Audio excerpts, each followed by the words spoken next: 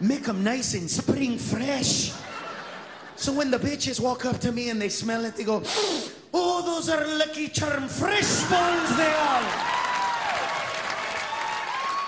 That's right, bitch. Lick my shillelagh. It's magically delicious.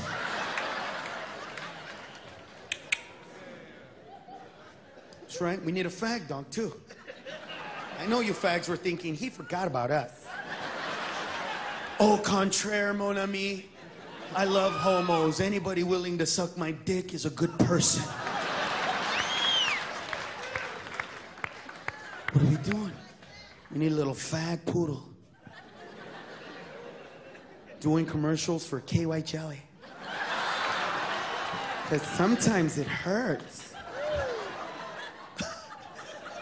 You need a little fag poodle doing commercials for fucking Ricky Martin concerts.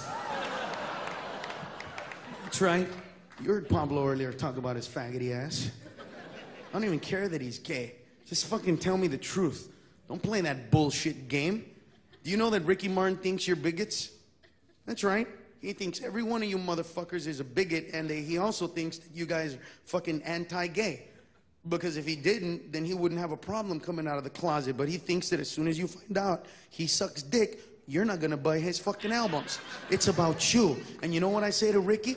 Fuck you. First of all, if you suck dick, I don't give a shit. I don't fucking care whose balls you lick or where you stick your ass. That has nothing to do with fucking me. If you sing good music that makes a chick wanna fucking suck my dick, then power to you, motherfucker. That's the way I look at that shit.